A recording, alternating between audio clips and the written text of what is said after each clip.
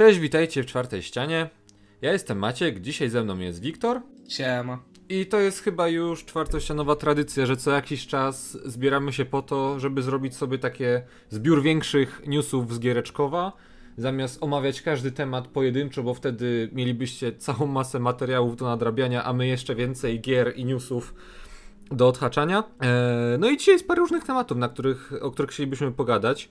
Między innymi zebraliśmy się dlatego, że parę dni temu odbyła się konferencja Ubisoft Forward, bo w tym roku E3 jako takiego nie ma, tylko ci więksi wydawcy, których na to stać i którzy, nie wiem, mogą, zbierają się po to, żeby faktycznie pokazać światu, że jakby hej, mimo tego jaka jest sytuacja na świecie, to że świat gamingu nie umiera i że ciągle wychodzą nowe produkcje, a niektóre są rozwijane. I ostatnio bardzo się właśnie dużo wydarzyło, między innymi ta konferencja, na której przedstawiono nam całą e, masę różnych zapowiedzi, ale my się skupimy na tych najważniejszych. Więc zacznijmy od początku. W ogóle pytanie, czy oglądałeś tą konferencję? Nie, jakoś nie za bardzo miałem ochoty. Jakoś mm, jedyne konferencje, na które w tym roku mam ochotę, to tylko DC Phantom i San Diego Comic Con, bo jakoś te growe konferencje mnie za bardzo nie, nie pociągają, bo gry to powiedzmy sobie szczerze, tak u mnie to bardziej drugi plan tego, co chcę widzieć w tym roku albo w następnym. Po prostu ogłoszenia filmów i seriali są dla mnie ważniejsze i bardziej emocjonujące aniżeli gier. No, czyli jest to po prostu kolejna konferencja, która hashtag nikogo, bo wiem, że chłopaki oglądały PS5, ich konferencje, konferencje Sony. Eee, ja na przykład oglądałem EA Play tegoroczne i bardzo tego żałuję, bo było jeszcze nudniejsze niż ubiegłoroczne. Nie wiedziałem, że tak się da.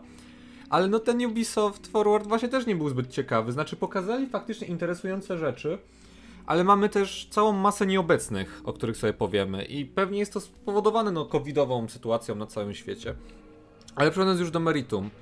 Po pierwsze, myślę, że jedna z gwiazd tego wieczoru zdecydowanie jaśniejsza, przynajmniej moim zdaniem, czyli soczysty, długaśny gameplay, który notabene wcześniej wyciekł, chociaż to chyba nie był do końca ten sam gameplay, tylko jego fragmenty, oraz zwiastun gameplayu do najnowszego Asasyna, Assassin's Creed Valhalla, które już omawialiśmy sobie tutaj na czwartej ścianie, pierwszy zwiastun i wtedy jeszcze niektórzy z nas się bardzo jarali i niektórym chyba ten entuzjazm opadł. Jak tobie? No, zdecydowanie mnie. Ja na przykład nie byłem jakoś podjarany za bardzo tym Assassin's Creedem, gdyż po prostu ja nie, nie jestem jakimś wielkim fanem tego rozwiązania, tego systemu walki i tego gameplayu i te, tego ogólnie tego nowego formatu gier z Assassin's Creed'a.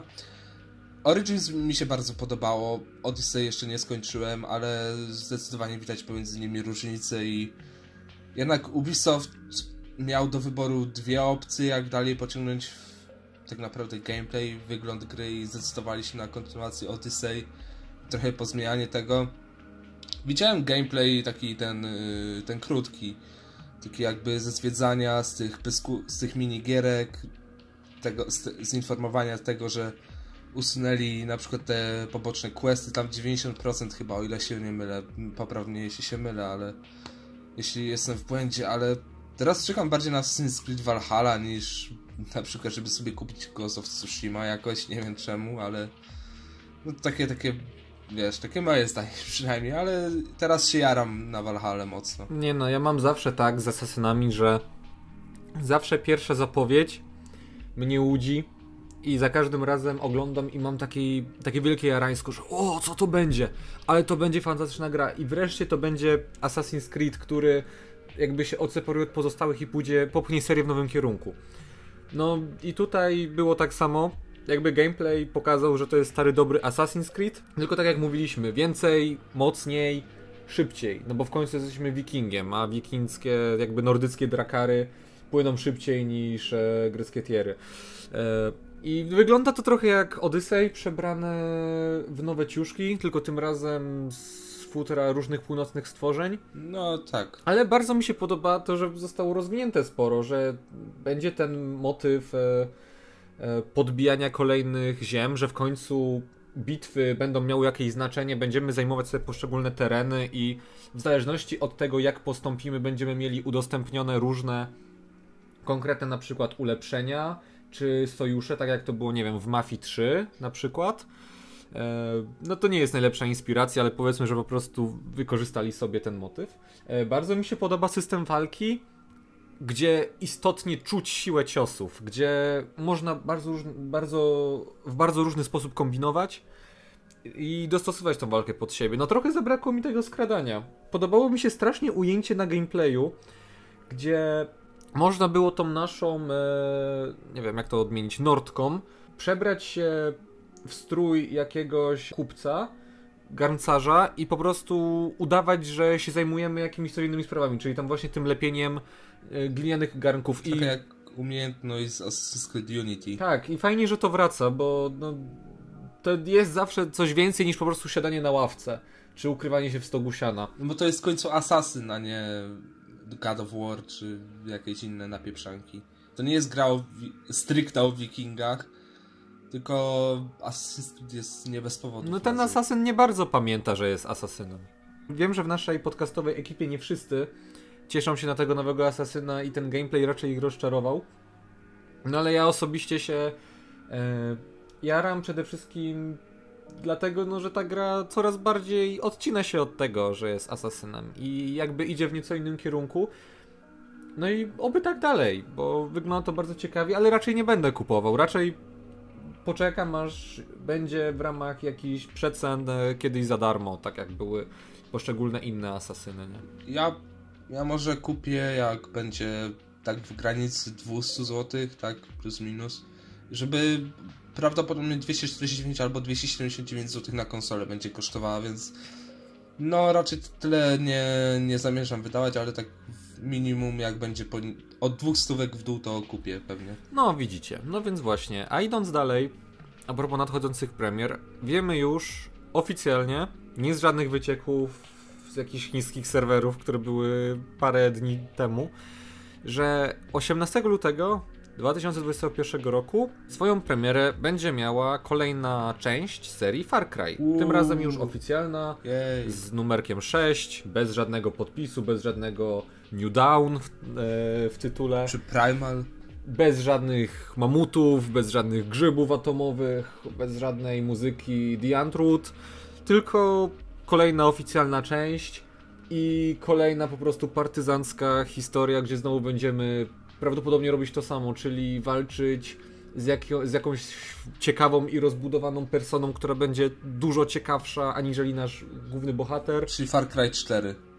Taki Far Cry 4, tylko że na najnowszej grafice i pewnie Wiesz co, jedyne co zauważyłem, jeżeli chodzi o zmianę, to że gra przenosi się z takiego e, przynajmniej względem poprzednich części, przenosi się do bardziej miejskiego settingu, przynajmniej tutaj co widzimy. Chociaż... Z takiego odludzia powiedzmy troszeczkę. Tak, i jest to bardzo fajny kontekst, bo widać tutaj wyraźne nawiązania do sytuacji, jaka się y, dzieje w różnych boliwariańskich y, krajach, na przykład y, w Wenezueli chociażby. Te, te ujęcia naprawdę przypominały to, co ja kiedyś widziałem w telewizji z tego jaka tam regularna wojna się dzieje na ulicach w tym momencie, bo no myślę, że to nie chodzi raczej o ten kontekst tego, co się dzieje w tym momencie w Stanach, bo to ta gra by musiała dopiero być zapowiedziana, nie wiem, na 2022-2023. I czy czekasz na Far Cry'a? Zdecydowanie czekam bardziej, aniżeli nie czekam. Przede wszystkim ze względu na to, że Giancarlo Esposito się tam pojawi i będzie głównym złym tej, tej, tej, tej odsłony. I w ogóle grafika, Jezu, nie wiem zauważyć, ale tak bardzo realistycznie to wyglądało na ja wiem, że Ja wiem, że to było prawdopodobnie też prerenderowane, ale wyglądało to prześlicznie, naprawdę. Przede wszystkim animacje twarzy jeju. I w ogóle ten klip, ten e, zwiastun z tą narracją, która była strasznie patetyczna i tania, jakby ja tą metaforę z granatem, który trzeba utrzymywać w ręku, bo inaczej wybuchnie, no to słyszałem już wielokrotnie, ale był tak pięknie wyreżyserowany, no i mówię, po raz kolejny prawdopodobnie przeciwnik będzie dużo ciekawszy aniżeli bohater, którym gramy i po prostu no, będzie takim typowym nasz tutaj protagonista Everymanem, w którego się wcielimy. Ale wiesz, to o to w Far Cry'ach chodziło. W Far Cry'ach o to chodziło, że ty nie byłeś jakoś za bardzo bohaterem, tylko właśnie bohaterem teoretycznie był antagonista, co co trochę jest takie, takim paradoksem, ale no cóż. No i też od, idzie w nieco inne klimaty niż piątka, no bo piątka była przede wszystkim o fanatyzmie religijnym, a tutaj będziemy... Piątki jeszcze nie skończyłem akurat, więc... Tak? No, nie miałem okazji jeszcze skończyć. A zakończenie znasz? Nie. No to ci nie będę mówić, bo zakończenie, no. Znaczy jest tam parę tych zakończeń, ale to takie najważniejsze zakończenie to wywala z butów po prostu i. Jeżeli wiesz o czym było New Dawn, to się pewnie domyślasz. Nie, nie wiem, niestety. No ja na Far Cry 6 też bardzo czekam, zwłaszcza przez tematy, które będzie poruszać, bo będzie poruszać tematy prawdopodobnie przesadzonego nacjonalizmu, może konfliktów e, socjalistów z kapitalistami, może będą tam jakieś kwestie rasowe, przede wszystkim społeczne, czyli coś, e, co zawsze w Far Cry stanowiło bardzo ważne tło. No i tutaj liczę, że ten background i world building będzie jednak nieco lepszy niż w poprzedniej części. I jeżeli chodzi o Ubisoft Forward, to w sumie tyle. Tam jeszcze pojawił się m.in. ten nieszczęsny nowy Tom Clancy, który będzie jedynie grą na urządzenia przenośne i więc spoko. No i wielcy nieobecni. Gods and Monster, Beyond Good and Evil, czy ten Prince of Persia, Dark Babylon, który jest jako domena już zarejestrowany, a w zasadzie no, nie powiedziano nam ani słowa. Możliwe, że prace nad tą grą po prostu są we zbyt wczesnej fazie, by pokazać nawet dzienniki deweloperskie. Eee, więc już pozostawiając temat Ubisoftu i tego, że ich konferencja co roku jest tak samo nudna i niepotrzebnie rozciągnięta, to przejdźmy sobie dalej. Eee, no widzicie Avengers, czyli myślałem, że ta gra nikogo, a się okazuje, że sporo ludzi na nią czeka. Właśnie nie wiem czemu tak sporo ludzi na nią czeka, bo to jest ewidentnie widać, że to jest kopia Destiny 2. Czy, jeśli nie wiecie co Destiny 2, no to gra, w której po prostu latamy sobie po różnych poziomach, mamy bazę, wybieramy sobie misje i do nich lecimy. Nie, nie że my lecimy, tylko po prostu nas wysyła tam automatycznie, mamy zamknięty świat i po prostu levelujemy postać i tyle.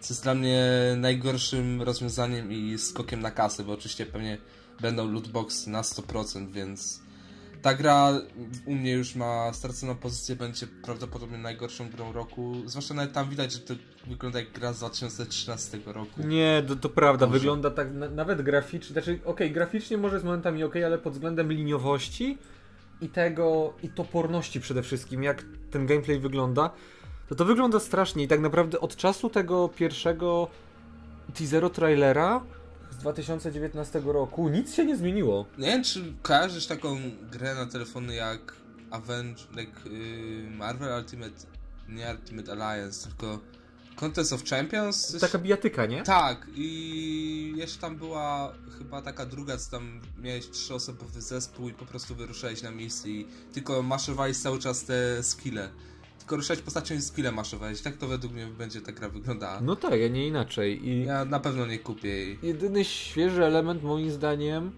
po tych wszystkich zapowiedziach, no to jest e, no ta Kamala Khan. Tak, która jest skokiem na kas tak naprawdę. Fajnie, że jest w tej grze, no bo to jest wciąż mało znana postać, a bardzo fajna postać i widać, że... Mało znana, a popularna. No coś w tym jest. Jakby jest bardzo popularna wśród ludzi, którzy w Marvela się faktycznie wciągnęli i ci, którzy czytali jej run z Marvel na, na pewno nie są rozczarowani. Tylko to, to, wygląda i tak bardzo dziwnie i niepokojąco, aż się boję jak to będzie w serialu wyglądać, jeżeli ona tak będzie rozciągać te ręce. No nie byłem przygotowany na to, jak to wyglądać może. Jedyne, jedyne co tam ludzi może przyjąć do tego, to że będziesz mógł po prostu jakby zmieniać wygląd swojej postaci, tyle, że skórki będziesz mógł kupować, wow, a no tak, bo ta gra ma elementy gry usługi i więc tam będzie co jakiś czas dochodzić nowa zawartość, będą dochodzić jakieś nowe skórki, faktycznie lootboxy. I wszystko będzie płatne. I ponoć nowe postaci, to wszystko ma być płatne i to naprawdę wygląda jak gra BioWare'u, tylko że tego nie robi BioWare, prawda? Kto to robi? Square Enix. Square Enix, ale nie, oni, oni mocno polecieli w Destiny 2 tutaj. Gra ala Destiny 2. Jest tyle lepszych wzorców, z których by się mogli uczyć, ale no, Przecież do meritum oni zrobili z, mm, z tego grę MOBA. Jakby takiego Lola drugiego zrobili. Nie wiem, czy kojarzę, kiedyś było coś w stylu właśnie Lola, tylko że DC. Ta gra już od paru lat nie, nie, ten nie funkcjonuje, ale jakby zrobili zamiast tego grę MOBA po prostu. I żeby chociaż było na przykład za 8 tych masz dostęp i tyle to według mnie to byłoby o wiele lepsze rozwiązanie. Albo po prostu weźcie Lego Marvel Universe i zróbcie to w 3D. O nie, to by tak źle wyglądało. Kojarzysz te mody do Battlefronta dwójki, co podmieniają ci prawdziwe postacie na ludziki Lego? Tak, tak. No, to by tak to wyglądało właśnie. No cóż, no, no, nic nie poradzimy, bo ta gra i tak wygląda naprawdę źle i no, nie wiem, a może nas zaskoczy czymś, bo jeżeli by ktoś chciał sobie sprawdzić i przekonać na własnej skórze, czy mamy rację, czy nie, no to już 21 sierpnia będzie beta dla wszystkich chętnych, którzy by chcieli sobie pobrać i zagrać. Natomiast już po 7 sierpnia będziemy mogli znać jakieś pierwsze, konkretniejsze opinie, bo wtedy e, będą pokazy zamknięte, e, też pokazy. Beta zamknięta dla tych, którzy zakupili m.in. Pre- preorder. 7, 7 sierpnia beta dla preorderów PS4, 14 dochodzi do tego Xbox, a 21 jest dla No, wszystkich. ci gr- gracze Xboxa jak zwykle pokrzywdzeni najbardziej. Bardziej niż PC-towcy. A właśnie, PC-towcy. Eee, PC-towcy tym razem mogą świętować, bo sporo tych gier, które rzekomo miały być takimi, znaczy nie zawsze były takimi ekskluzywami, nie, nie do końca jakby to było mówione, że nigdy nie trafią na PC, ale jednak trafiają.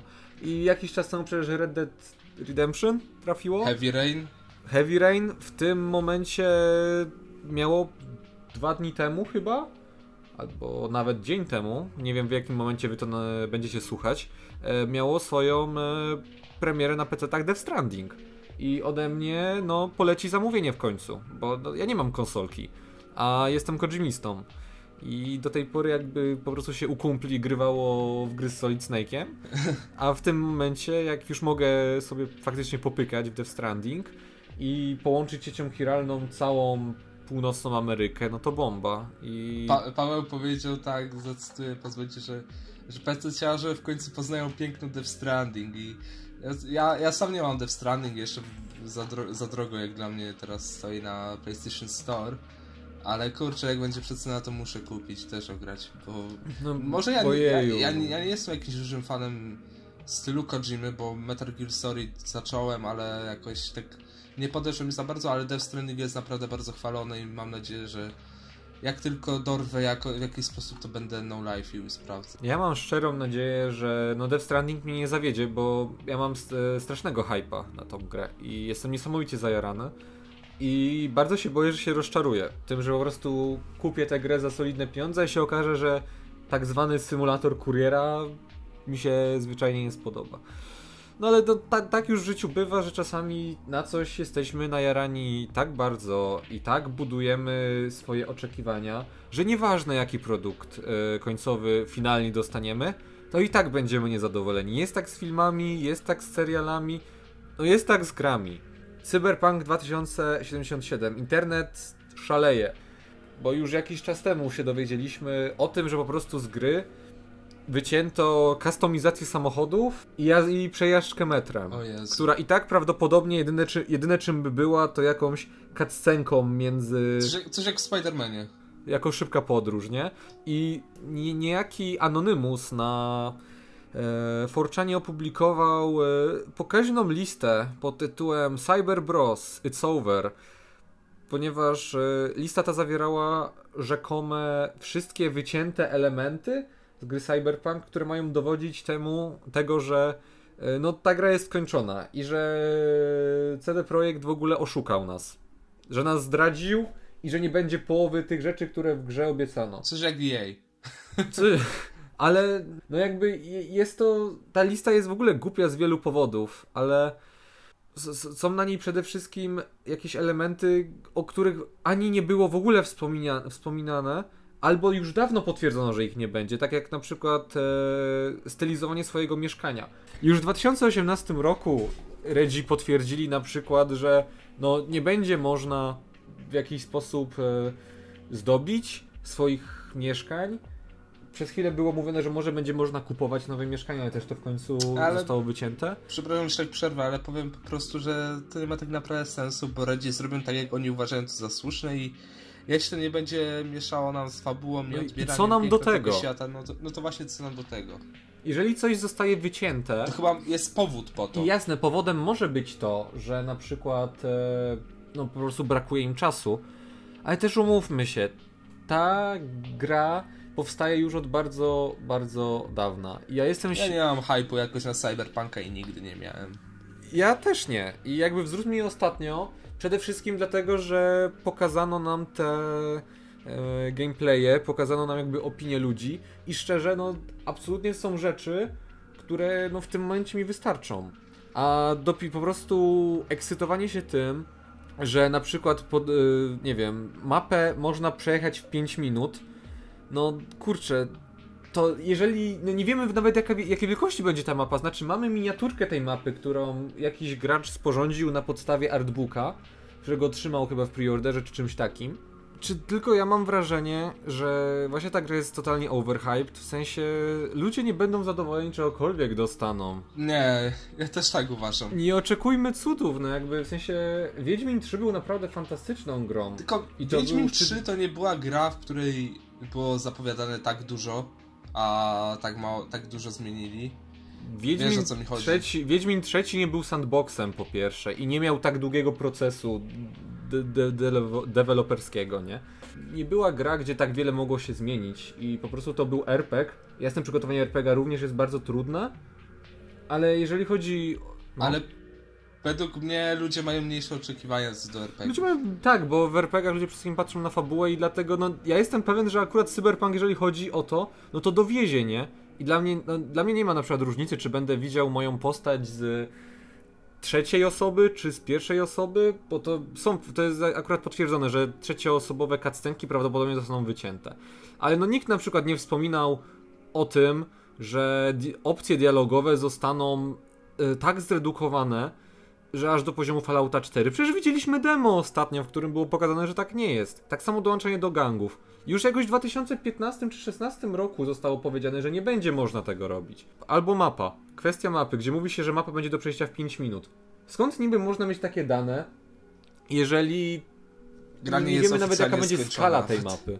Tak. powiem ci tak, to może się wydać, że ta mapa jest mała, ale na przykład przybliżysz mega mocno i wiesz, nagle tu masz masę tego, masę, masę powierzchni i na przykład poruszanie się jest, że tak to ujmę, wolne i pokonanie ci takiego punktu A do punktu B, z punktu A do punktu B, jak sobie zaznaczysz na mapie, to ci się wydaje, o, dojdę tam w 5 minut, to na przykład połowę gry, powiedzmy, będę musiał tam iść. Wiesz o co mi chodzi, nie? No tak, no kiedy, póki nie masz jakiegoś przedmiotu, że nie jesteś w stanie określić skali. Poza tym też mapa w Cyberpunku ponoć ma być no, wielopoziomowa i mamy dostać też podziemia Night City i te dzielnice również są wielopoziomowe. E, natomiast e, no nie wiem, ja jestem przekonany, że po prostu w tej grze dowiezie fabuła. Dowiezie fabuła i te elementy, cała reszta. Zwłaszcza, że to są wszystko rzeczy, z którymi yy, CD-pki no do tej pory no, nie pracowały. To pierwszy raz, kiedy tworzą taką strzelankę, pierwszy raz, kiedy tworzą grę z w ogóle modelem jazdy samochodem, więc to nie można mieć nie wiadomo jakich oczekiwań i to nie będzie mesjaż elektronicznej rozgrywki. Tak samo było z Bioshockiem Infinite w 2011 roku, kiedy wszystkim się wydawało, że to będzie no, najlepsza gra na świecie, która przekona ludzi, którzy nie grają w gry do grania w gry. A po prostu to była gra. Czekajmy na grę, a nie na, nie wiem, nowego bożka. No, zdecydowanie. Czyli ty nie czekasz na Cyberpunka, nie? Nie, zupełnie nie czekam. Mimo, że mam mega szacunek do Redów i ich lubię po prostu i czekam na Wiedźmina 4, to na Cyberpunka w ogóle absolutnie zero hype. A, jeszcze jest jeden news związany z Cyberpunkiem, mianowicie jakiś czas temu e, zostało nam, zostało pokazano nam, że w grze pojawi się NPC o aparycji i fizys e, Hideo Kojimy na super szybkim czerwonym motorze, co mi się bardzo podoba. Nawiązując do Death Stranding. Tak, więc e, no mam nadzieję, że takich gościnnych występów będzie tak naprawdę w tej grze jeszcze więcej. Zwłaszcza, że jeszcze była ta plotka jakiś czas temu i jeżeli to jest potwierdzone, no to wow. Ale nie chcemy, pamiętajcie, że to jest plotka, nie chcemy rozsiewać fałszywych informacji. To, więc po prostu nie, zaznaczam nie to. siać fermentu. Zaznaczam to jeszcze raz, że to jest plotka. Ponoć w tej grze ukryty jest Tom Hardy. I to jako postać taka równorzędna jak Johnny Silverhand. Pokazano nam już wiadomo... Ej, w ogóle Keanu Reeves, Tom Hardy w Cyberpunku Kurde. I to jest jedna z tych rzeczy, przez które najbardziej czekam na tę grę, bo uwielbiam Keanu Reeves, ale... Ale wiesz, jeśli takie... Jeśli takie, powiedzmy, promowanie gry znanymi aktorami, to jest...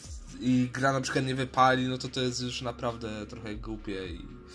I bardzo okropna taktyka według mnie. Jeżeli się okaże, że ta gra jest faktycznie tak okrojona, jak mówią, z powodu po prostu no czasu, i tego, że pochłaniała po prostu za dużo środków, no to no będzie mi przykro, bo jakby po prostu, no wiesz co, no ta gra powstawała całe wieki i jestem przekonany, że będzie pamiętana jeszcze przez kolejne lata. Mam nadzieję, że z tych dobrych rzeczy, tylko po prostu no nie oczekujmy nie wiadomo czego, bo po prostu się zawiedziemy. To nie musi być gra perfekcyjna, po prostu żeby była dobra, nie musi o żadne nagrody walczyć, tylko po prostu, żeby ludzie mieli pozytywny odbiór i żeby nie było narzekania, że o, mogli zrobić coś inaczej, o, usunęli to, bla, bla, bla. I tak pewnie będzie miała obsypana nagrodami. 100%. Tak, mam nadzieję, że po prostu będzie pozytywna i tyle. Nawet nagrody BAFTA dostanie, bo tam jest cała masa mniejszości i tedy. W takim razie omówiliśmy już wszystko i będziemy kończyć, bo jeszcze każdy jest zajęty swoimi sprawami, ale oczekujcie całej masy różnych materiałów w dniach e, następnych. Pogadaliśmy sobie e, o grach, więc trzymajcie się ciepło. Ja jestem Maciek, ze mną był Wiktor. Siema, na razie trzymajcie się i pamiętajcie, nie preorderujcie Avengersów. Do zobaczenia, hej.